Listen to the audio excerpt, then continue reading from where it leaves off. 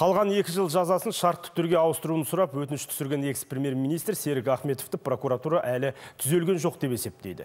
Бүгін бұрынғы шенеуніктің арызын қараған Қарағанды аудандық сот алқасы мемлекеттік айыптаушылардың осы сөзіне сүйеніп Ахметовті босатпау туралы шешімге келді.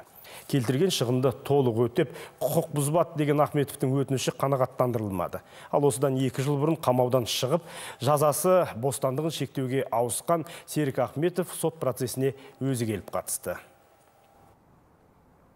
Екі жылға жуық уақыт түрмеде отырып, бостандыққа шыққалы бері көпшілікке көрінбеген экс-премьер-министр Серік Ахметов сот залына жасырын емес, көпшілікпен бірге орталық есіктен кірді.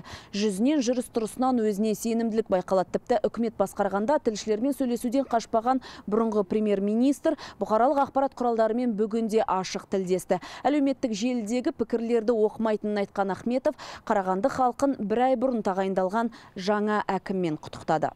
Женщина потому что она энергичная, активная. Да.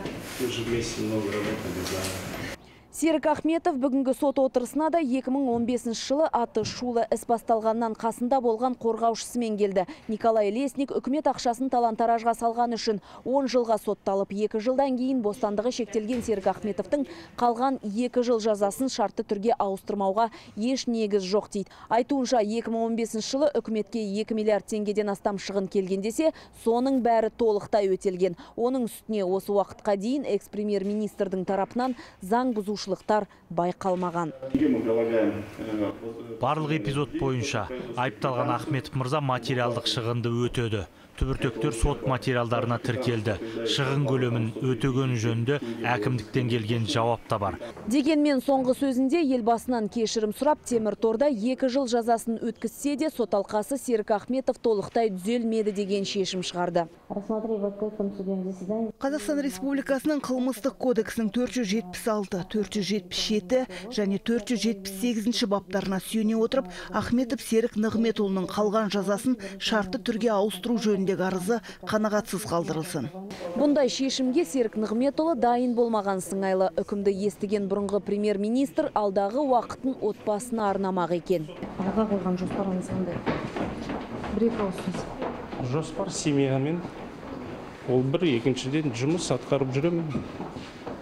Қандай жұмыс? Дегенмен сот үкіміне келіспейтіндігі туралы қайта шағым түсіруге Серік Ахметовтың әлі 15 күні бар, бірақ әрі қарай бара ма жоқ па ол жағы белгісіз. Ал 2015 жылдың желтоқсан айында шыққан сот шешіміндегі қойылған талаптар толықтай орындалғанын айтады. Ал бүгінгі сот отырысынан кейін Серік Ахметов мен заңға бағынамын деді. Мейрамгүл Салқынбаева, Жасұлан Мақұлбеков, Информбюро, Қарағанды облысы. Ең маңызды жаңалықтардан хабардар болыңыз, жаңа бейне жазбаларды өткізіп алмау үшін YouTube'тағы арнамызға жазылып, лүпіл қойып, қоңырауды басыңыз.